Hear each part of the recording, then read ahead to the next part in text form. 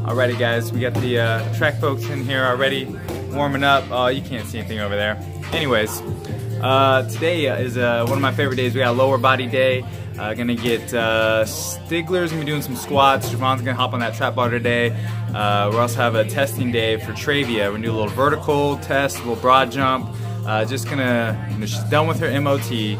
So now it's time to assess, you know, see how much power she's got in her, uh, so then we can post-test after her strength cycle, kind of check out the differences, making sure we're moving the needle in the right direction.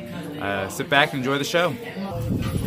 So just like most days, we're going to start out with the ankle stability. I am a big fan of these uh, stability pads going in uh, multiple planes of motion as well as uh, getting a core activation, our low back and abs always working together.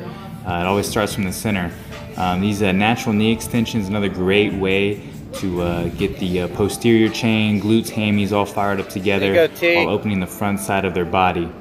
Um, and once we go through some nice range of motion activation, we get nice and dynamic, uh, into some nice skips. Uh, we like to see some nice springiness, looking for just smooth rhythm, uh, nice coordination, uh, as well as uh, some simple lunges, you know, walking forward lunges, walking lateral lunges. It's all about just hip, knee, hip, knee and ankle stability working together. Um, then we had to get that uh, Vertec set up. Big fan of these bad boys for our uh, vertical testing.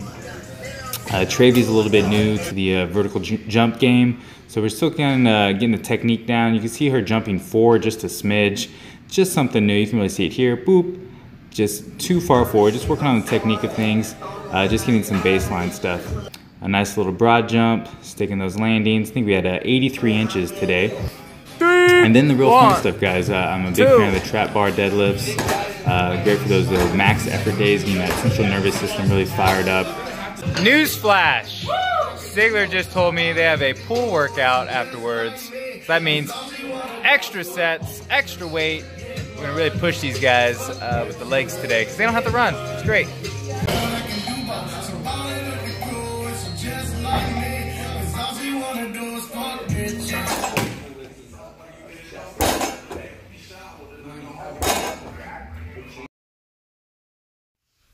And once the heavy lifting is done, uh, I love to mix in some nice mobility for the hips. Uh, if they have some tight ankles after some sprints, we'll get some nice uh, ankle mobility in as well. Uh, always add in the single leg strength work, working on stability. Love those crossover uh, step ups that Stigler knocking out there, working some med ball work where you really have to fight to stabilize. Um, and that's about it. Thank you guys so much for watching. If you have any questions, please let me know in the comments.